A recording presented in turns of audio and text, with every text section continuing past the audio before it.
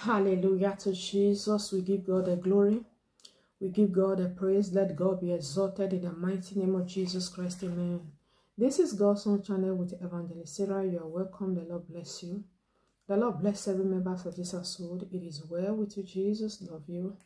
And I love you. Please family like this video, share, subscribe. Tell somebody about this ministry. God bless you as you do that. In the name of Jesus Christ. Amen. Hallelujah. Hallelujah. Glory to Jesus. Glory to Jesus. They thought they figure you out. They thought they figure out everything. In in other words, this person, when they finally thought they figure you out, they felt that you would remain somebody that is being subdued on that day. That was how they thought they figure you out. You know, the the devil and prideful people, you know, pride is from the devil. No matter how somebody will tell you he or she is a born again, he can be a pastor, he can be a prophet, he can be an evangelist. When you see a man or a woman that is prideful, even in, even if the person carrying is carrying Bible, understand that that person is dealing with the spirit of pride, because God does not give us that spirit of pride. Pride, no. God does not give us the spirit of pride. When you see a man that is so prideful, that can touch his chest and say, if it is not me, if it is not me, I am this, I am that, I am that, I am this, that look down on people, even people who are following him or her, even people who are looking up to him or her, know that no matter, that person might still have gifts. Understand these things. There are people who have gifts, natural gift from the Lord.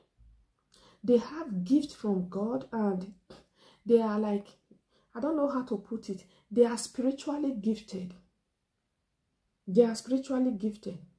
But yet, they are filled with pride. Why? Because they have refused to surrender that pride. Do you know why that gift in them, God is not taking it away? Let me tell you something the word of God must comfort. It does not matter how God is going to bring the word, He will bring it forth. One thing you should know God can take a drunkard from the street and use him or her to preach His gospel. But that does not mean that the drunkard is going to heaven if he or she did not repent. The person, the, the person the drunkard preached to might repent and find Christ. Do you know why? Because the word of God must comfort. He can use anyone to measure his word comfort. When he have somebody to save, when he have a soul to deliver, he must bring his word forth through someone. That is why the Bible says, if we refuse to serve the Lord, he will raise stones. What do you think that the Bible is talking about when he says he will raise stones? Do you think it's the stone in your compound? No. These are what the Bible talks about those that, that that we never thought could come and preach the gospel these are the ones that god will not touch their tongue and say release my word. Have you not seen people who preach the gospel? They preach all this gospel they do miracle they speak prophecy. They are living in fornication. They will even come and show you who they are fornicating with and you will be celebrating them. Is it not this social media we are seeing? You know, when Evangelist Vera speaks, people will be angry. People will be angry. What is she talking about? Do you know why it's like that? God is patient. God is patient and his word must comfort. Until they repent, even you that is clapping for them, you are not going to save them on the last day. They can preach the gospel. Yes, God will move in his power because his word must comfort. But you see that sin that they are swimming in and the world is clapping for them. You know the world is now normalizing fornication. They are normalizing adultery. They are normalizing different kinds of things. When you speak about it, people, people will get angry. Instead of them to instead of them to reflect on their life and say, God, help me to overcome it, they would want to use one place in the Bible to cover that place up. On the last day, there will be no cover up. It will be so open. Everyone have their weak point. Even if you are fornicating, and that has been your weak point, adultery, Tell God to help you to overcome it. Don't run away when you hear someone is talking about it. It is because God is interested in your soul. That is why you are hearing about it.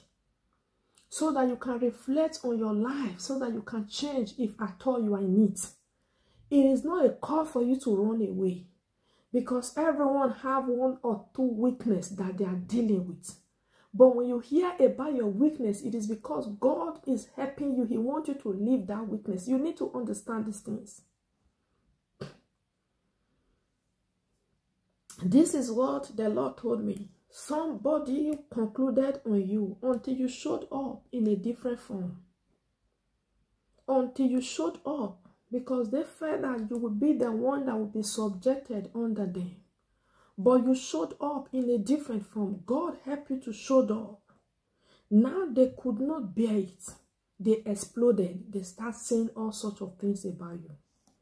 Don't expect them to be happy when you showed up in a different form after you have been concluded on. They exploded. Someone feels so angry, exploding in anger, and they want you to react. May wisdom speak for you.